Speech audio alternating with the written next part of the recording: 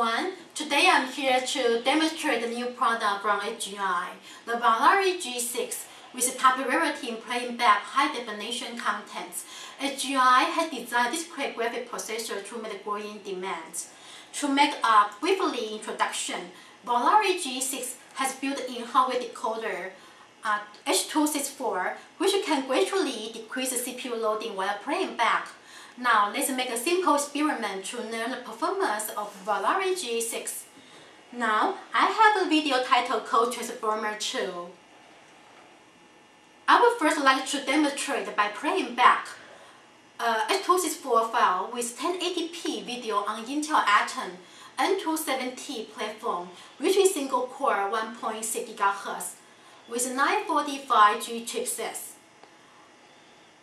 From the screen, you can see the CPU utilization rate is actually going up to almost 100% together with some frame drops because I'm using the onboard motherboards. Now, I would like to put on Volari G6 demo board same platform and uh, playing back. The platform is ready as you can see.